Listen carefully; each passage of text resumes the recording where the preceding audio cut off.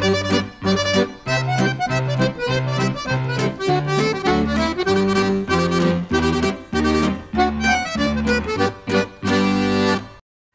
Takole, spoštovane gledalke, dragi gledalci, poslušalke, poslušalci, smo že nazaj v studiu z mano, vodja ansambla Alpski kvintet, Janez Per. Kvintet, ki nas že mnogo, mnogo let osrečuje, radi poslušamo njihovo glasbo in Janez, tako kot sva rekla, skoraj da že 50 let.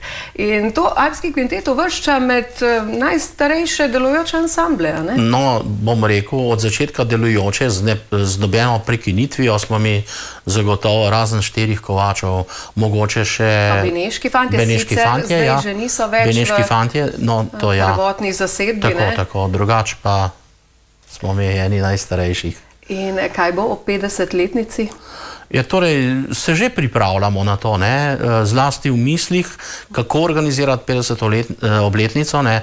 To bo z- zagotovo velik praznik, 50 let, pa 30 let alpskih večerov, ki jih imamo vsa ta leta, ne? pa še marsikaj. No? Tudi zagotovo bo ena odlična zgoščenka išla ob tej priložnosti, ker se bomo res potrudili tako uh, strani uh, komponiranja tekstov, kot pa tudi izvedbe same. Ne? Verjamem, da bo tale proslavitev 50-letnice nekaj posebnega in uh, ja, upam, da me povabite, ne?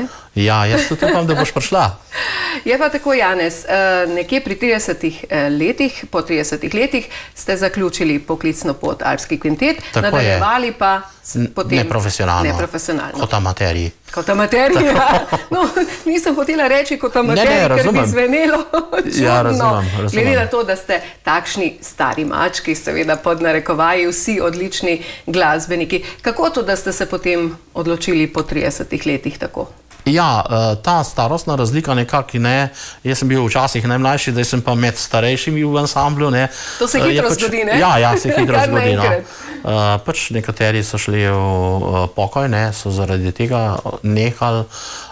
Potem no, Antonič je postal župan Bleda, ne, vodja alpskega kvinteta vsa leta, ne, ustanovni član tudi, ne, Ivan Prešeren tudi ustanovni član. Tako da pač takrat smo pol to, bom rekel, profesionalno pot mal prekinili. No. In s tem seveda nadaljevali z igranji v različnih, kot sva že prej omenila, zasedbah in seveda nadaljujemo zdaj še to isto pot. Čeprav kar dosti igramo, ne moram reči, da imamo kar precej terminov, seveda, ki so pa večinoma ob koncu tedna. Še vedno odhajate potem Ja, v tako, tujino? tako, tako, že letos smo kar precej tudi igrali. Glede na to, da ste že toliko kilometrov naredili v tujino, verjetno se človek počuti kar skoraj da tako kot na domačem terenu. Ja, res je. Č, uh, torej, ceste so odlične, ne? zdaj je vse praktično avtocesta, od vodic pa do, kaj vem, do kamorkoli greš, ne? to je res sreča. Včasih smo se vozili čez eh, vasi še, ne? pred tokimi leti, recimo pot v Švico je trajala 20 ur, ne? danes si pa v 5-6 urah v Švici. Ne? Kakšne razlike. Ja, ja. In uh, takole pri ploščah lahko zopet uh, začneva malce s ploščami. Uh, namreč 67. leta je bila prva. Tako je. In od takrat jih je bilo mnogo. Veliko, ja, res je. Mi smo pač pol pozneje imeli tudi pogodbo s uh, firmo zunaj, ne. Vsako leto en posne, torej ena plošča oziroma en CD po, pozneje, no. Včasih pa tudi po dve, no. Tako in v teh letih se jih je nabralo kar 50. Ste pa prejeli kar precej priznanj eh, za prodane izvode tudi v tujini. A tako je, no, v tujini smo prejeli uh, šest zlatih, eno diamantno priznanje za... Diamantna, to je pomenila za koliko? 250 tisoč, ja, ne? tako, ja.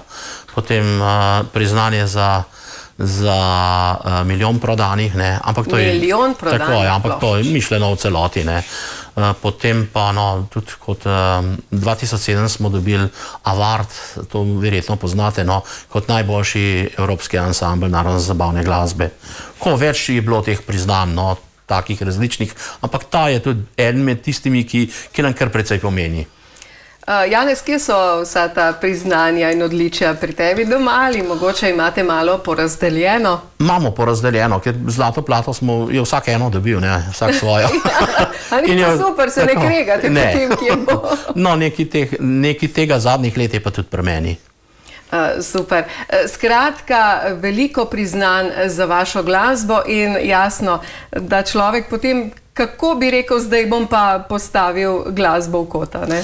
Ja, to je zelo odvisno od tega, ne, kako te tudi zdravje, uh, pač kako se počutiš, ali si še navdušen nad glasbo. Ne. Seveda, zdaj, če bi se v en kot zaprl, pa moledoval, pol ni nič. Ne. Če pa si optimist v življenju, ne, je pa pač to, da, da rad igraš, da greš rad na igranje, da se veseliš s prijatelji srečati in seveda s prijatelji tudi fajn zaigraš. Torej, lahko rečemo, da je tudi nekakšno druženje z ljudmi, s katerimi uh, si praktično lahko rečemo pol stoletja, ne, skoraj ja. da preživel čas in je potem nekaj posebnega, da se dobite.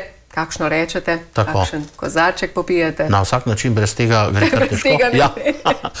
no. to veš, kako je pri muskontarjih. Ja, obvezno. In ko smo že pri kozarčkih, gre zdaj le Joža v gostilno. Super. Eh, mi pa šla kasneje. Ja, po tej vdaji. torej, vsi skupaj si pogledajmo, Alpski kvintet je z nami in Joža v gostilno.